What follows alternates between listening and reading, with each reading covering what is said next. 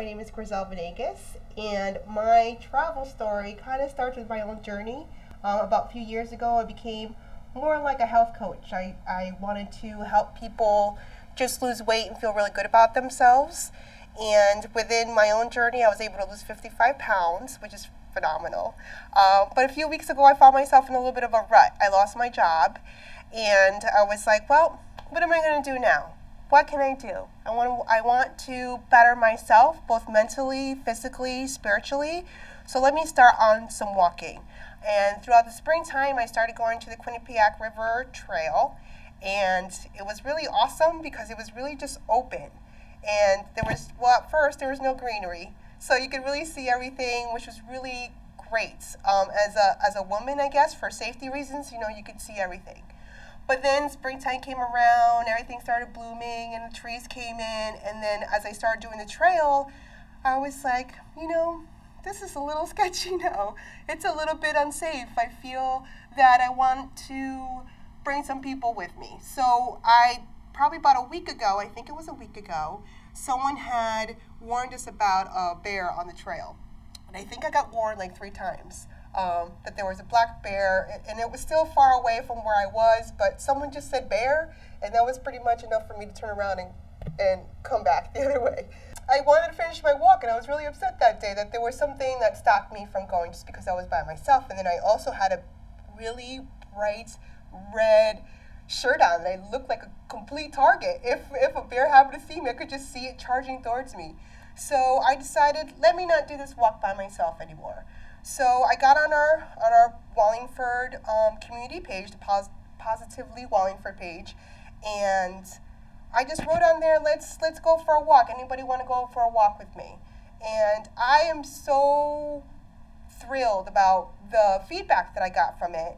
I first of all, I can't believe how many people are home during that time, during the daytime, that are able to come at 9:30 in the morning come for a walk. Um, but it's almost like I feel like in just in a couple days, it's kind of like blown up a little bit. And from a little post, I've been able to just, there's about 40 people now that have said that they're going to come at certain days, at certain times, um, which just to plug it in right now, we're doing Mondays, Wednesdays, and Fridays at 9.30. We're going to meet at the Quinnipiac Linear Trail on Hall Avenue.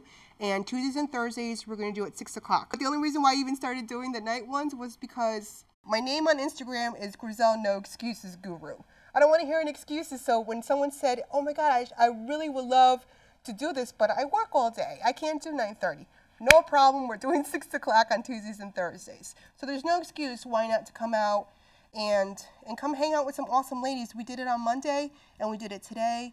And we talked the whole time. It was really wonderful. We talked about our kids, our job, Wallingford, you name it. It was just really it was nice. It's nice to to meet women in our community. It's nice to share our stories um, about how we love being here, how um, you know everything from, from politics, a little bit of politics, to to to basically butterflies. Today was the conversation butterflies.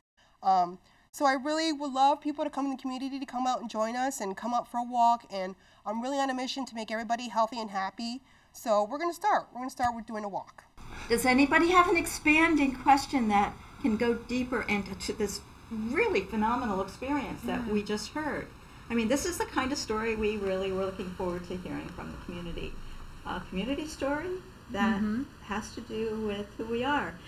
How far do, do you walk? By myself, I can do the four miles, which is two miles one way and then two mm-hmm. miles back. Um, but we all have different strengths, and we're trying to take that into consideration. So I just want to do an hour. So wherever we are, half hour out, I look at my watch, we'll turn around and come back. I, I told the ladies um, today that we'll work on our stamina. So if anybody wants to walk a little bit further, then let's figure out where we are, and then we'll remember. So the next time we'll push a little bit further to, to walk a little bit farther. To reiterate, where do you guys meet? Oh, the Quinnipiac Linear Trail. It's on Okay. Hall Avenue, right Oh. by where the new um, entrance is Oh, for yeah, I the know what you're talking Parkway. about. Okay, yeah. And it's free. It's completely free. There's no charge. There's no anything. I got clearance from Wallingford to, to do it as well. So was this your first time actually experiencing the trail when you had this idea about doing the walk, or were you familiar with it from before? I never used the trail up to during the springtime. I did a couple of times when everything was not grown in. But I've lived in Wallingford um, five years. I've never used the trail before. I think maybe out of safety. I think that's one of the main things is that you Yeah. know you're a lady. Mm. Do you, you know sometimes I don't want to be that one person that posts somewhere that something happened to me because I was walking by myself. So that's a, Mm-hmm. a big push why I want to do it together with other people. And are you aware of the ticks? That there have been reports of ticks being uh, on people after they walk the trail, not just with those with animals in general, Really? and some very, very little ones. So are you Yes. actually incorporating checking each other for ticks at the end of the walk? We did, we did. We Oh, all wow. stopped and we checked each That other. So yes, I guess I haven't had any problem. I've been there quite a few times. I Mm-hmm. haven't had any problems myself, but I, I've heard a lot of people as well say that it's been on their pets. So it's always a caution. I mean, it's a precaution everywhere we go nowadays. I feel, but I haven't had any issues yet. Well, what was your largest group of ladies? We've only done it two days. Today's my Oh, second wow. day. So today we had five people. Oh. Okay. But there's 40 people all together that said they would be at certain times. Oh, great.